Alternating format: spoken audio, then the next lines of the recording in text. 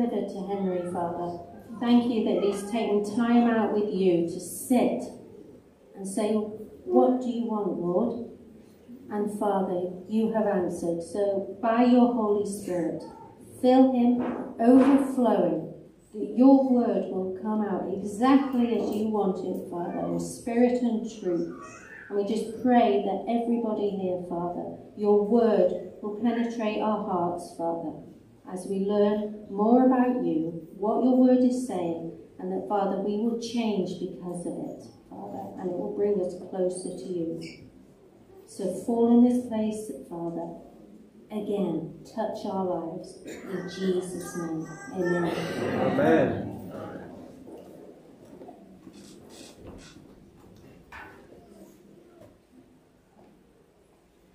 Can everyone hear me? Hello? Yeah. Yeah? Well, looks like Pastor Andrew's been up there again. Is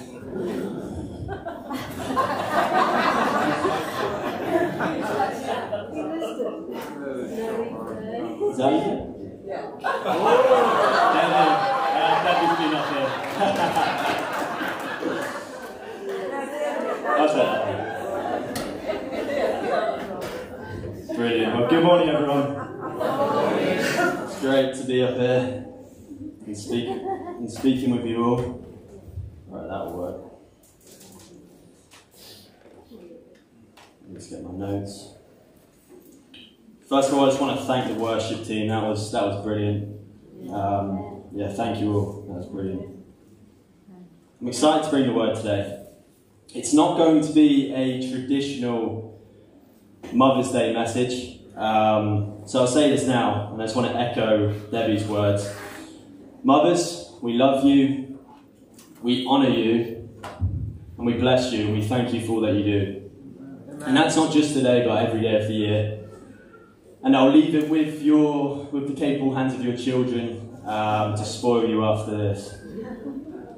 The word today, in a lot of ways, is a follow-up um, from when I was last up here a few months ago. So I'll, ju- I'll just jump straight in.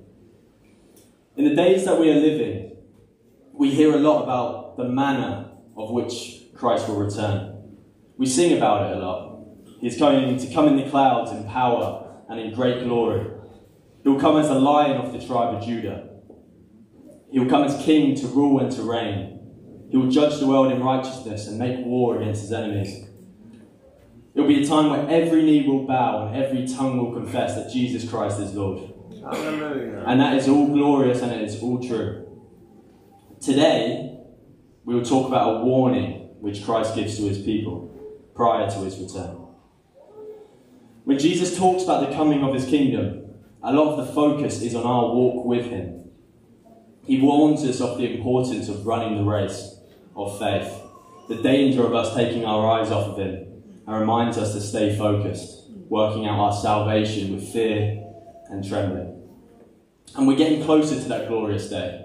So his ad- admonitions to his church are now more important than ever before. We cannot be one foot in the world and one foot in Christ. You're either his or you're not. So can we please pull up Luke 17:32 please? Yeah, that's big enough. In the middle of teaching his disciples about the coming of his kingdom on earth, Jesus says these three sobering words Remember Lot's wife. And it's one of the shortest scriptures, verses in the scriptures, even, but no less important. I don't want us to overlook these words, because when Jesus tells us to remember something, we best do so. And we have been commanded remember Lot's wife. Jesus was speaking here in the context of his second coming. And we are closer to his return now than any other generation before us. So please, let's take these words seriously this morning. Lot's wife was a woman, was, was a woman even, with many spiritual privileges in her day. For one, her husband knew the one true God, which was not common at that time. She also had Abraham, the father of the faith, a friend of God in her extended family, who would have no doubt been praying for her. And just like modern, just like Lot's wife, the modern day church has so many spiritual privileges. If you have a physical Bible with you, could you please lift it up? Yeah? Not many around. If you need a Bible, let me know after. It's banned in 52 countries, so it'd be good to get one now. Um, do you know you have more in your hand than what all the prophets of Israel ever had? All the kings, all the priests of Israel. You have more in your hand than what the Apostle Paul had. And on top of that, unlike many of the generations before us, we have complete freedom to practice our faith in this country. And to whom much is given, much is required. And yet, despite these privileges, Jesus still asked in Luke 18a, I haven't given you the scripture, when the Son of Man comes, will he find faith on the earth? When the Son of Man comes, will he find faith on the earth? We cannot let our privileges make us complacent. And I'm convinced if we take this warning seriously to remember Lot's wife, who was unprepared in her time, Jesus will find faith on the earth when he returns. Amen? Amen? You see, there are only two people in the whole of Scripture that we're told to remember. One is our Lord Jesus Christ, and the other isn't Abraham or Moses or David but it is an unnamed woman who is the very symbol of rebellion in Jewish tradition. And I'm convinced that if Lot's wife was alive today, she would be sitting in a church just like us. And the first challenging question I want to bring this morning is Are you Lot's wife? Are you about to become a pillar of salt? Let's dive into the story and consider what exactly it is we are called to remember. One of the crucial elements of this account is that it didn't only end badly for Lot and his wife, but it started badly. So let's dive in. In Genesis 12, Abraham received a calling from the Lord.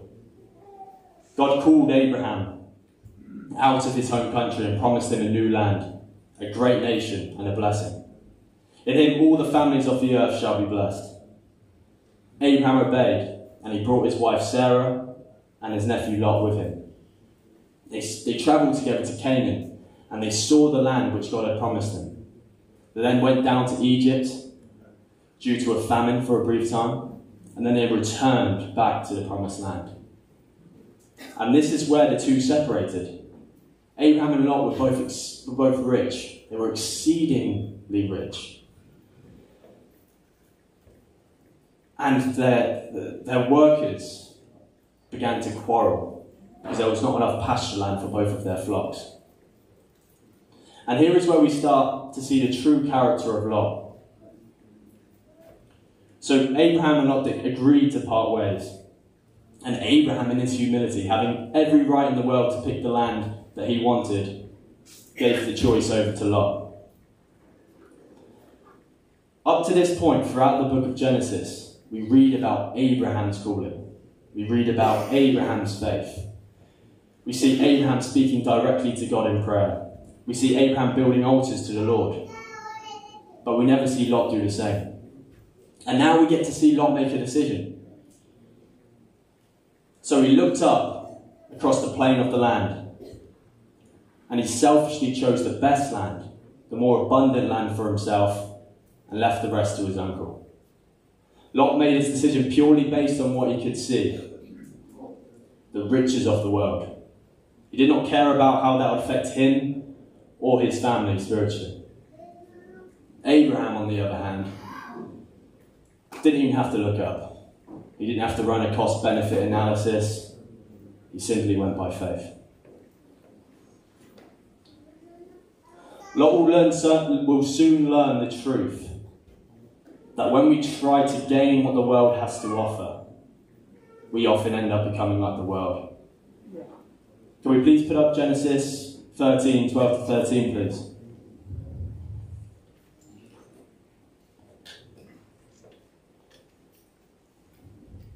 Abraham dwelt, Abram at this point, dwelt in the land of Canaan, and Lot dwelt in the cities of the plain and pitched his tent even as far as Sodom. But the men of Sodom were exceedingly wicked and sinful against the Lord. This was Lot's choice to dwell near a people that were actively disobedient against his God. Notice though that he didn't go straight to Sodom, he pitched his tent near Sodom.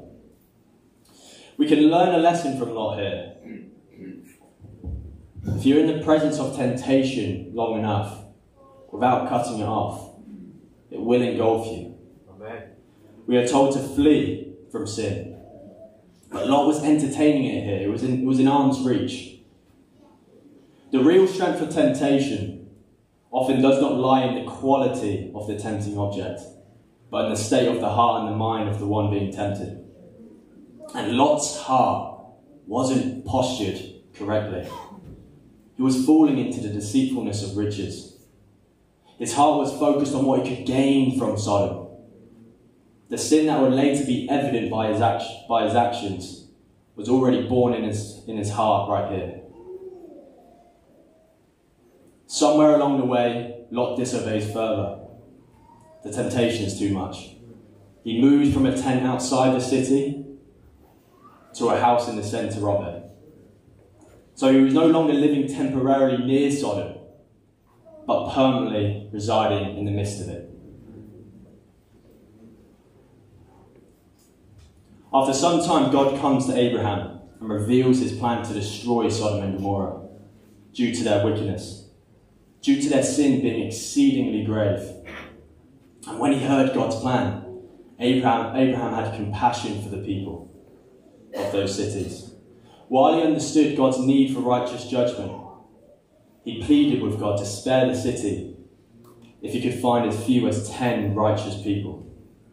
And God agreed. He would indeed spare the city for the sake of ten people who were calling upon his name. So the Lord proceeded to send two of his angels to Sodom to investigate whether or not the city was truly that wicked. And here is where we meet Lot again. He's sitting at the gate. This is where the important people of the city would have, would have judged and supervised. So now he was a leader in Sodom. At this point, we haven't yet met Lot's wife. We don't exactly know when they married, but most scholars do agree that she would have been a Canaanite and he would have met her there. You see, Lot, left Abraham, the blessed man of God. He's gone to dwell in Sodom chasing riches, and now he decides, decides to marry a Canaanite, which would have been against Abraham's advice. Later on, he instructs his son Isaac not to marry with the Canaanite, so we can presume he told Lot the same. And this bad decision making, this disobedience, plays a massive part in the way life's, in the way Lot's life plans out. Lot didn't just find himself in a sinful land about to face the judgment of God. It was through a slow process of sliding back into the world, and before he knew it, he was far from the Lord. And it's the same with us today. We don't just wake up one morning and feel separated from our Creator. It's a slow process. It's a build up of disobedience, of conformity. It's living in continual, unrepentant sin and not keeping a short account of God. And saints, we're all prone to fall into that. If we aren't actively building our relationship with Christ, if we aren't being discipled, if we aren't spending time in prayer in the scriptures, if we aren't moving from glory to glory in Him, we are sliding back into the world. So Lot sees these angels who have the appearance of men. They're coming into the city. And straight away he recognizes these are no ordinary men. And he runs to meet them, he bows his face before them. And the angels share to him their plan to spend the night in the open square of the city. But Lot knew the men of Sodom, their wickedness, and what they were capable of. So he pleaded and insisted strongly that they stay the night at his house. Now, here is where the story takes a drastic turn.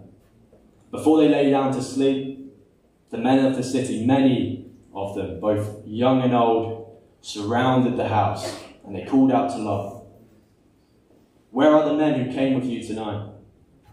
Came to you tonight. Bring them out to us that we may know them carnally. Bring them out to us that we may know them carnally. Here is where we get a glimpse of how exceedingly sinful Sodom was. In Ezekiel 16, we, we get the fuller picture, but this is enough to understand why God wanted to bring judgment upon this people. The men came to force themselves homosexually on these angels. They were wishing to break all principles of morality for their own sexually perverse gratification. And we see this unfolding once again in the world today. Saints, praise God that He's pulled us out of this world. The entire city was given over to immorality. So please, picture the scene. All the men surrounding the house, beating on the door, asking for Lot to hand over the, the two men to commit a very evil and shameful act. Lot responded first by, by asking them not to act so wickedly. It's a tough position to take because they were behaving like this long before Lot moved to their city. And he still decided to go. He lost his witness, he lost his credibility. He was the salt that had no flavour. Who was he to judge them? They would have thought. He's come to us, he lives among us, he married one of ours, and now he's trying to tell us what's right and wrong? He would have been far more effective if he was set apart, if he was still dwelling in the tents outside of the city. If we are to be an effective witness, an effective witness in this wicked generation, saints, we must be blameless. We cannot partake in the same sin with unbelievers and expect them to come to Christ. Lot now does something that I can never understand. He tries to bargain with these men. He offers up his two virgin daughters to the mob instead of the angels, thinking that that would satisfy their desire for pleasure and their thirst for iniquity. I cannot justify that, that decision. Dwelling in Sodom for so long has had a much greater effect on him than he, than he did on Sodom.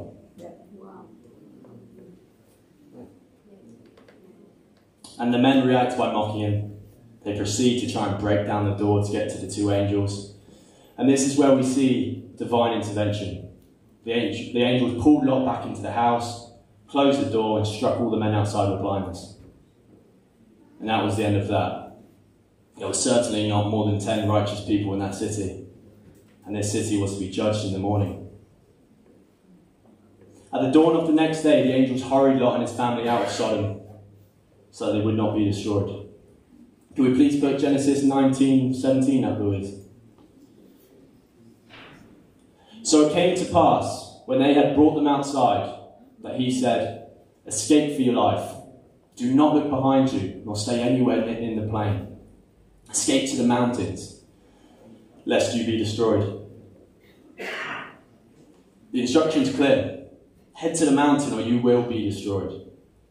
Lot pleaded to head to Zoar instead, which was granted to him. Now the Lord would not bring the judgment upon Sodom and Gomorrah until they were safe. For he pro- fulfills his promise. Always, he always fulfills his promise to deliver the righteous out of the wicked. Now, can we please skip a few verses to Genesis 19 23 to 26? Thanks, Louise.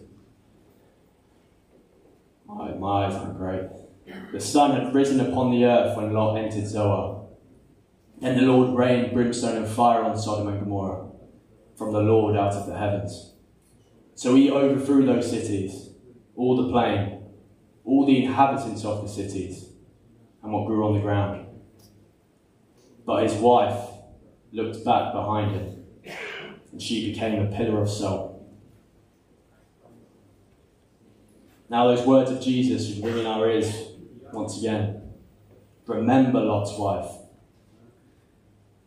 She looked back and she became a pillar of salt. This was more than just a glance over the shoulder, which still would have been bad. But the real picture here is that she was behind the rest of her family as they were entering to Zoar. She was dragging her feet behind them as they entered into safety. She had no urgency to get to her destination. She didn't want to leave what was behind.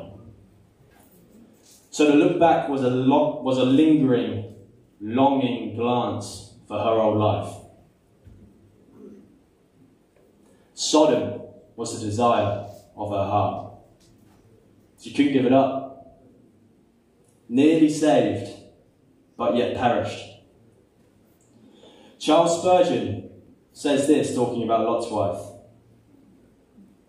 If I must be damned, let it be with the mass of the ungodly, having always been one of them.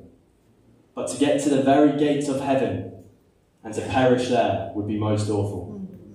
To get to the very gates of heaven and to perish there would be most awful.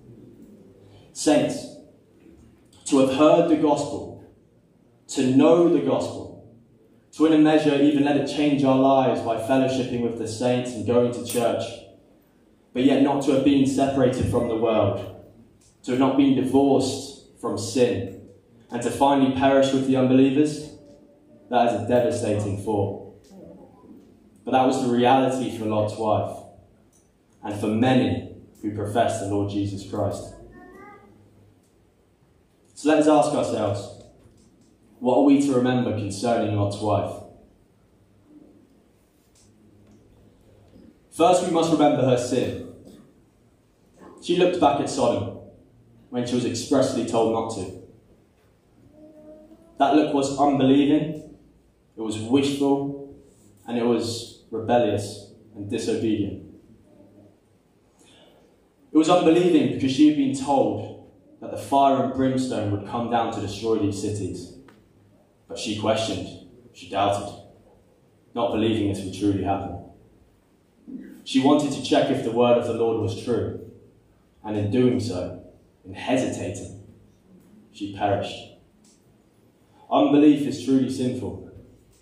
God says He is the rewarder of those who in faith diligently seek Him, not those who casually seek Him out in doubt and unbelief. The look was wishful because she left her family and her possessions behind. There was no gratitude in her heart for God, to God for preserving her life. But she was just filled with regret for all that she had lost. She wished to be back. Her treasure was more in Sodom than it was in heaven.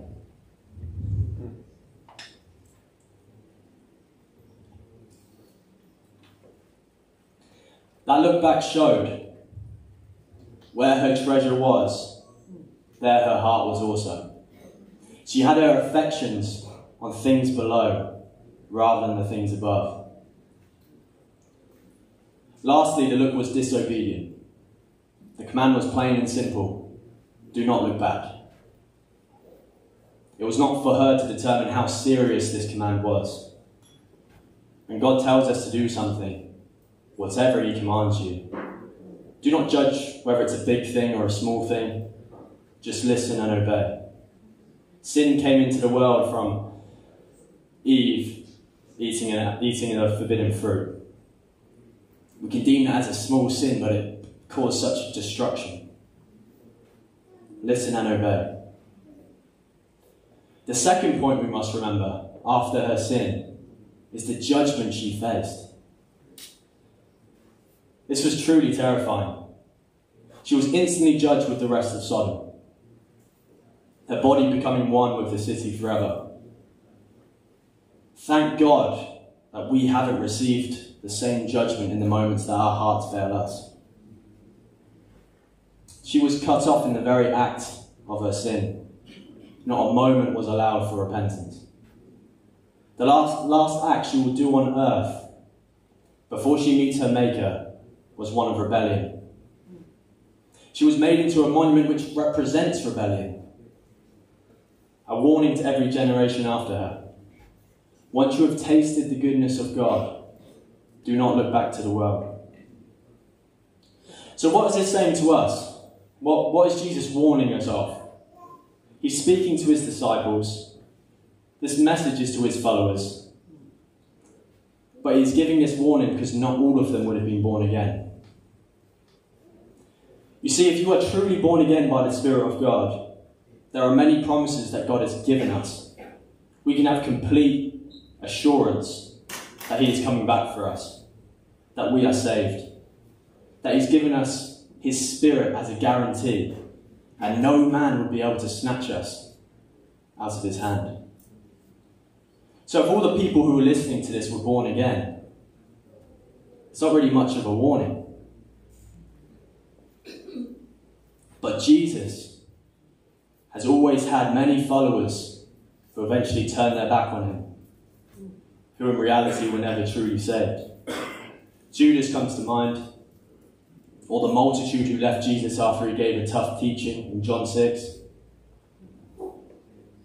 Or if you, if you need more confirmation, speak, speak to the elders here, speak to Pastor, speak to Mike, speak to Carol. I'm sure they've seen many men and women who once were seemingly strong in the faith, who have fallen.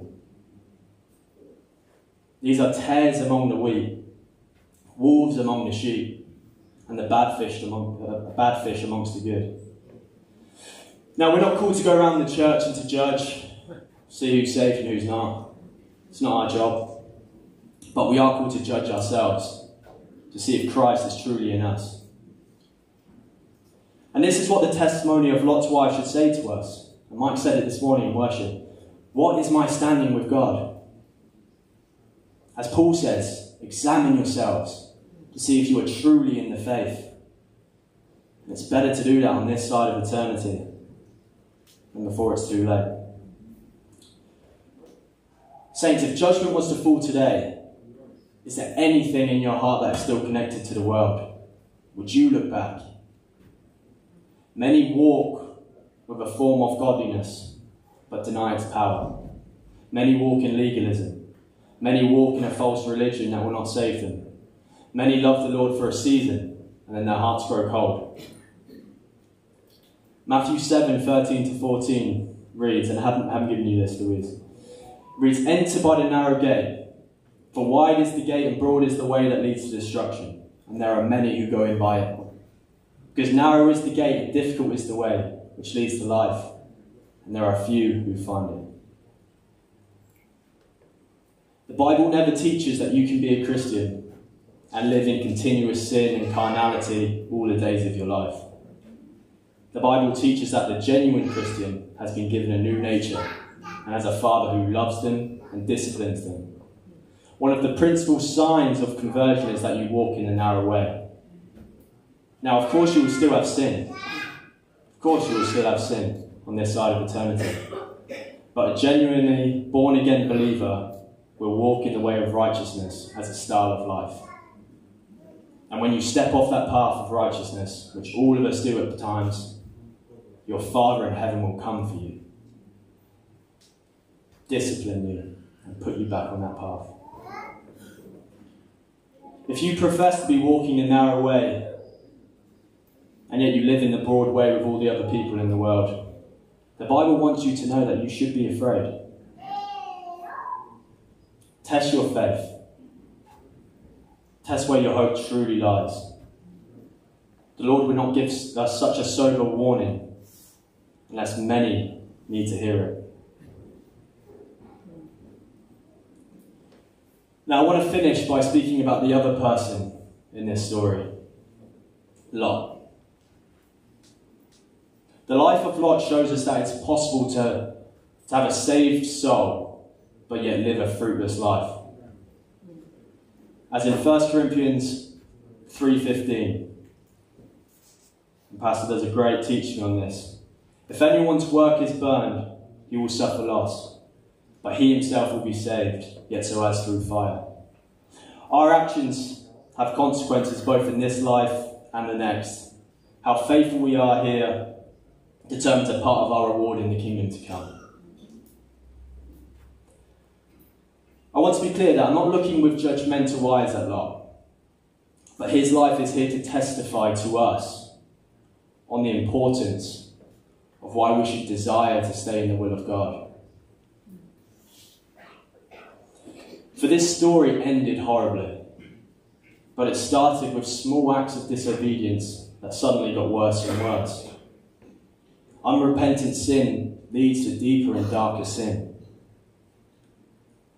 From the text, we learn that he has children, goes on to have children with his two daughters.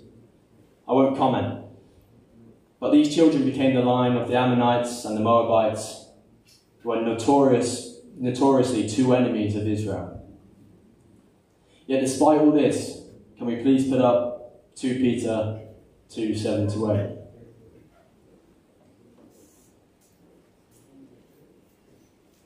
And God delivered righteous Lot, who was oppressed by the filthy conduct of the wicked. For that righteous man, dwelling among them, tormented his righteous soul from day to day by seeing and hearing their lawless deeds. Here we see Lot is named righteous. Peter says it three times. Yet, knowing his life, we'd probably say the opposite. But that is how glorious our gospel is. For there is no one born in ordinary generation from the line of Adam and Eve that can claim to be righteous. If our lives were put into a couple of chapters in the Bible and you put out the best bits, we would all be the same. We have all sinned and fallen short of the glory of God, and even our very best works are nothing but filthy rags to Him. We're all left guilty. And this is the glorious gospel. So God in His grace looked upon us as a person, as a people who have no hope, and He sent forth His Son, who was not born of ordinary generation, but born of a virgin If he was born out of ordinary generation, he would have been born into sin. But he wasn't born into sin, he was clean. And he kept himself clean because he walked on this earth living a perfectly sinless life. And on that cross, God made him who knew no sin become sin for us. And God laid upon him the iniquity of us all, every sin we've ever committed. And Christ suffered for sin once and for all the just for the unjust.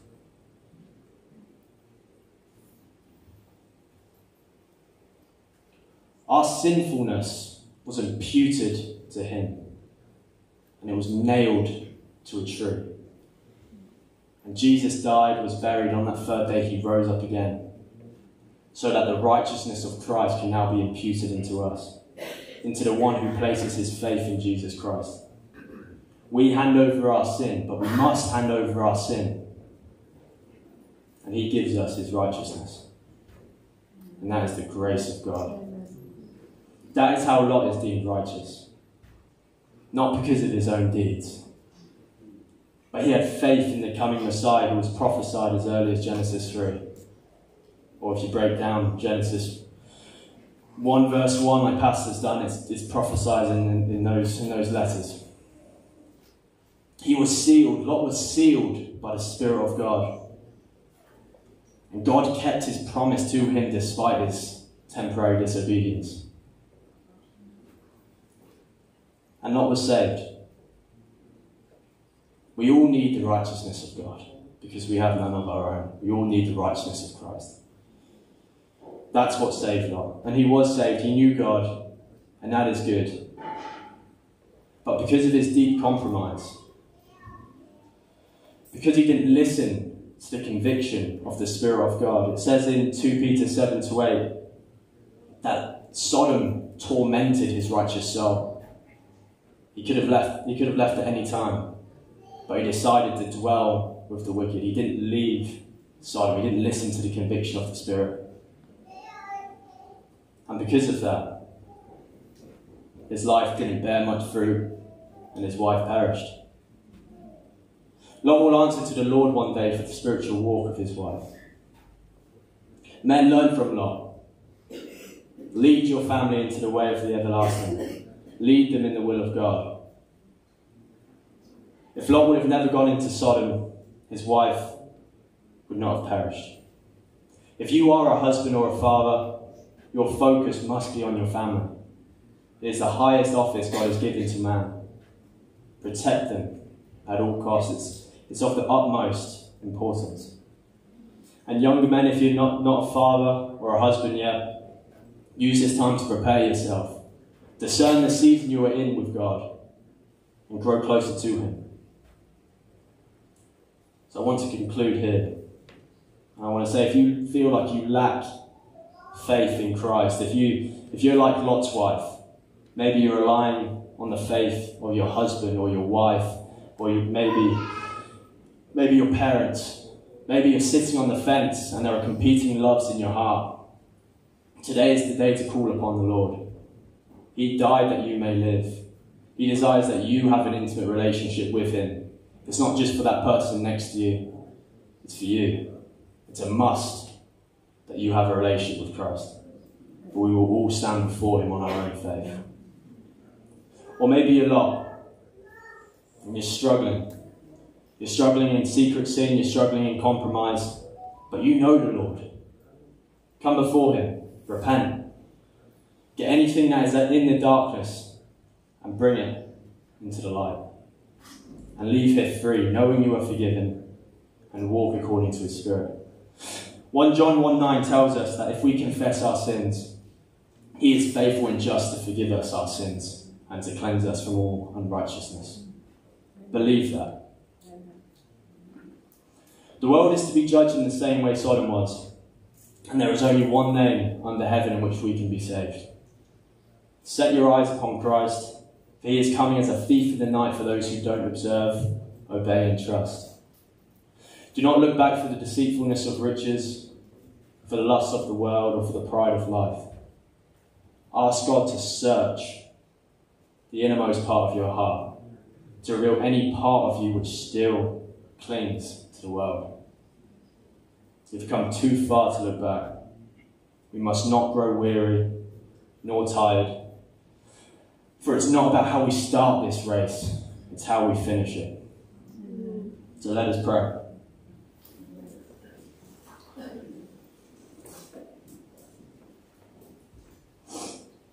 Lord, we come before you in the name of your Son, Jesus Christ.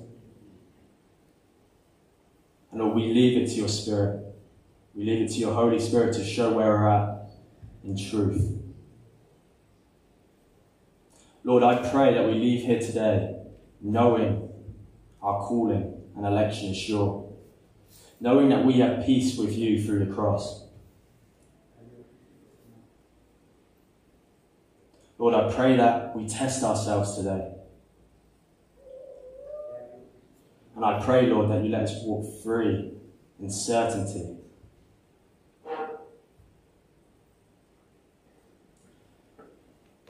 Lord, I pray that you speak to each one of us as we play this song and we worship you, Lord. Let us bow down before you if necessary, Lord. Let us repent of our sin. We thank you, Father. In Jesus' name we pray. Amen. Jesus,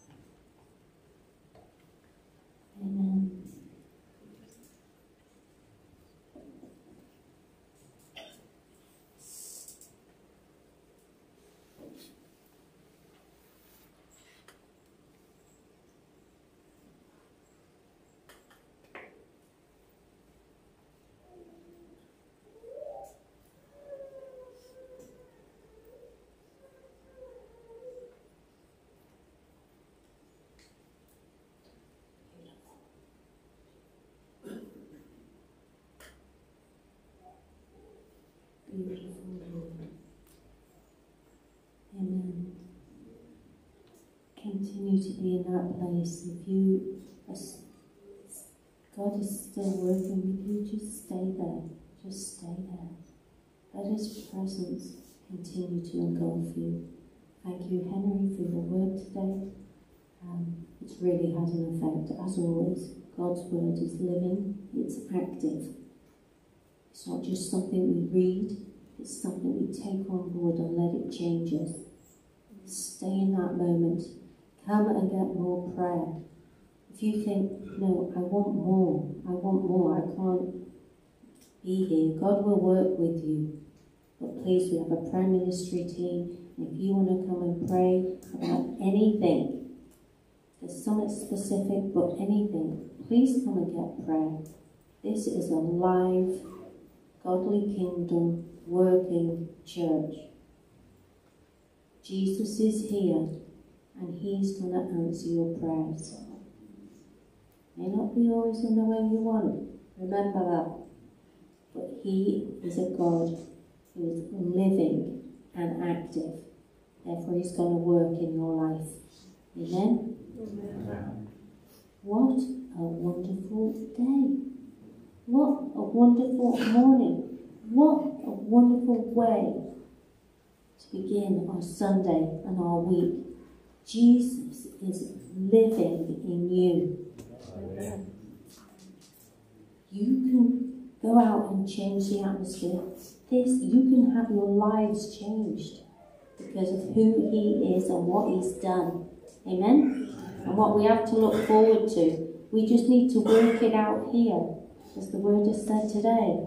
Make sure that we are better than we think we are. We're better. We're moving forward to be all that God has created you to be. Amen? I don't think He's ever done. Because He's never done. There's always more. Amen? Always. The world's active, the enemy is active, but our God, Jesus Christ, is the name above all names and is living and active in you and around you. Amen? He has the victory. He reigns over everything else. We just need to make sure that we're together, meet one another, be discipled, come on Sunday, making sure that we're before Him so that we can be the more than what the world is. Amen? We can make the difference in our own lives, in our families' lives, but also once we walk out these doors and out of our front door. Amen? So come and get prayer. Fellowship together. Thank you, everybody, this morning. We have raised the name of Jesus. There has been a change in the spiritual atmosphere. Therefore, there's a change where we are. Amen? Please join us for tea and coffee and be blessed and favoured wherever you go. In Jesus' name, amen. Amen.